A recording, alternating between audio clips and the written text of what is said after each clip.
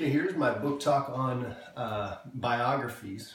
And when I was looking at that list, there was so many good choices, um, and you know that I wanted to look at. But this one is actually it's kind of interesting. You don't think of biographies being picture books, but this is a um, a book uh, about trombone shorty and he's somebody that you know is from New Orleans. I, I, uh, my mom was born and raised in Baton Rouge, um, so I've got some roots down there in Cajun country. And this guy actually plays the plays the band on uh, Scott Van Pelt's uh, late night Sports Center show. Uh, he kind of does the interlude to that and everything, and that's how I kind of found out about him. And he's one of the best trombone players in the world.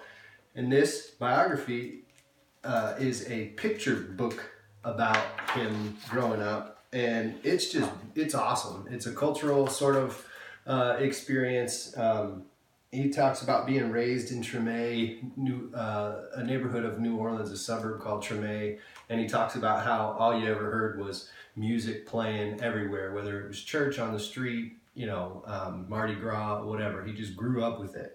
Uh, and he, and you know, in New Orleans, he talks about how you say hello and you say where you at, uh, which I liked. And, and uh, you know, he kind of talks about finding a trombone that was old and beat up. And when parades would go by, he would go and walk with the parades and pretend like he was playing.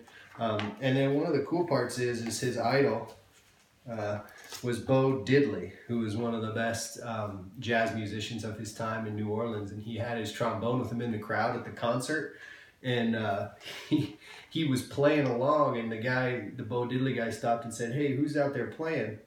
And someone pointed over to the little boy and it was him and they called him up on stage and he played along with him. And that was inspiring to him and uh, he ended up you know now he plays uh, at that uh, venue himself much later on. So that was inspiring to him. In the back it's really cool. It's got some pictures of him when he was a little boy marching with these guys in the parade. And the pictures are they kind of tell a huge story. It's pretty cute to see a little boy um, so into playing music um, but it was just the culture that he was brought up in um, and everything like that. So if you guys don't know who Trombone Shorty is or you're not familiar with the Cajun culture down in New Orleans or the jazz scene, this is a really cool book, real simple to read. I think it's great for kids as well. Um, just kind of exposes them to a totally different culture, kind of the language, the dialect, uh, but also the musical part of it as well.